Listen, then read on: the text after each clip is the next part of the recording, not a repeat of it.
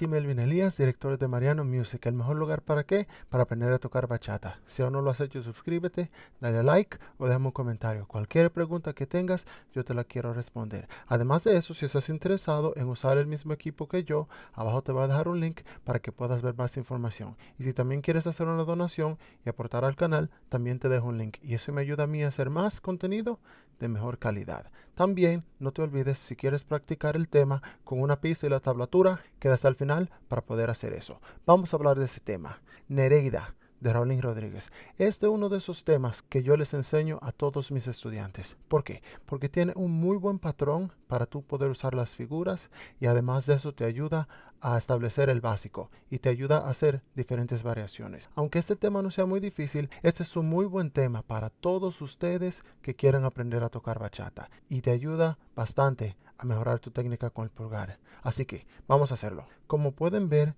el patrón que estamos viendo en la tablatura es relativamente repetitivo. Entonces, ¿cómo vamos a atacar este tema? Primero vamos a establecer los ritmos y después entonces miramos la tablatura. Cada frase, por lo usual, tiene cuatro compases. Entonces, el primer compás tiene el siguiente ritmo. Pa, pa, pa, pa, pa, pa. El segundo y el tercer compás tienen próximo ritmo.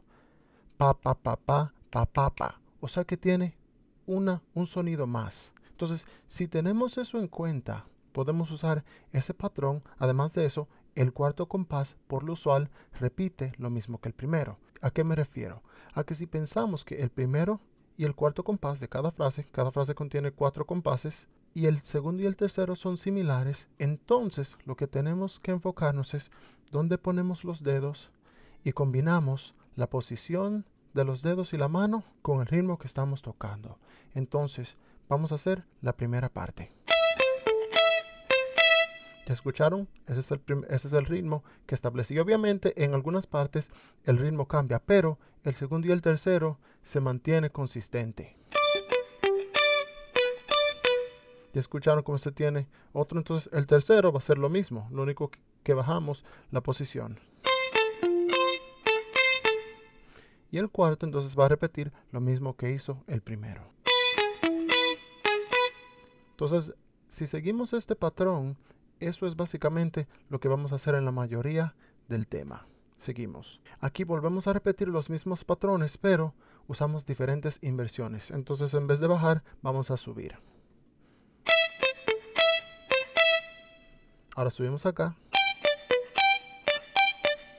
El tercero que usamos va a ser entonces esta posición y el mismo patrón que el segundo compás. Y el cuarto va a ser igual que el primero. Ahora cambiamos un poquito el patrón del primer compás. El segundo y el tercero van a ver que va a seguir haciendo lo mismo.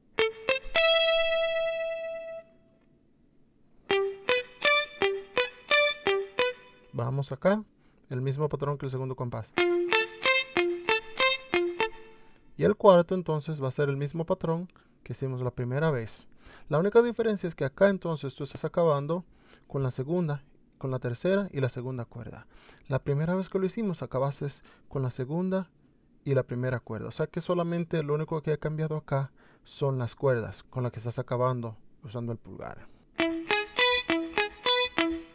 Entonces acá vamos a subir de nuevo. Entonces ahora vamos a subir y ahora entonces vamos a acabar aquí usando esas posiciones, pero con la segunda y la tercera cuerda. Vamos acá.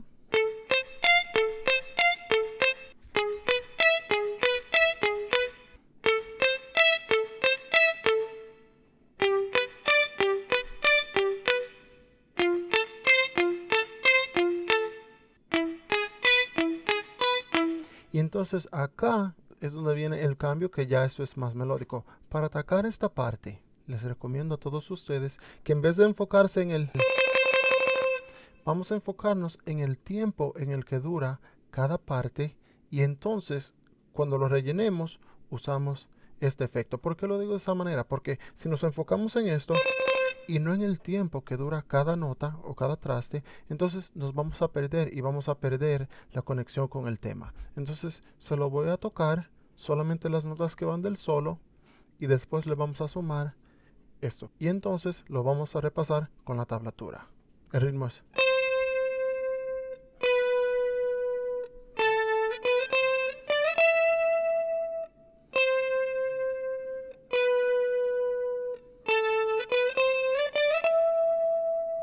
es extremadamente importante que lo, que lo piensen de esa manera. Ok, entonces vamos a hacerlo ahora con la tablatura.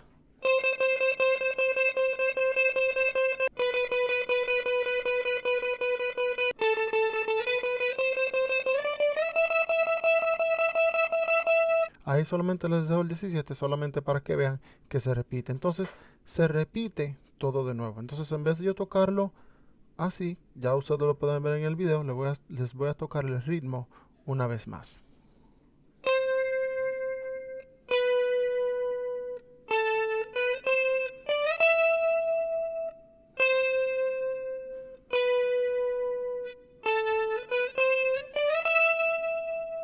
Piénsenlo de esa manera. Si lo pueden hacer con esa velocidad o más lento, no importa. Porque recuérdense que lo importante es que la nota suene cuando va. Eso también es importante, pero es secundario. Ahora vamos a usar las inversiones, pero el ritmo ha cambiado un poco. Aquí como pueden ver, vamos a usar estas inversiones y es el mismo patrón rítmico.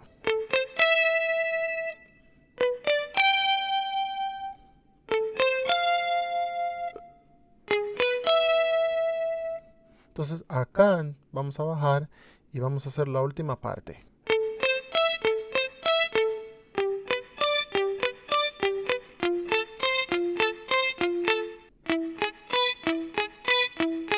Así que como ustedes pueden ver es mucha repetición que se está haciendo de los patrones. Ya que establecimos el ritmo, entonces ahora vamos a establecer las figuras que usamos con la mano izquierda. Tenemos esto acá, está acá, está acá y está acá. Esa es la mitad. La otra mitad es acá, acá y acá. Entonces, tomen ese tema como un muy buen ejercicio para ustedes desarrollar su técnica con la mano derecha. Ese tema, lo voy a repetir de nuevo, es excelente para todos ustedes que quieren aprender a tocar bachata. Así que ahí lo tienes. Este tema fue Nereida, del cacique Raulín Rodríguez. Si tienes cualquier pregunta, asegúrate de hacerla. Y aquí te doy la pista para que lo practiques. Let's go.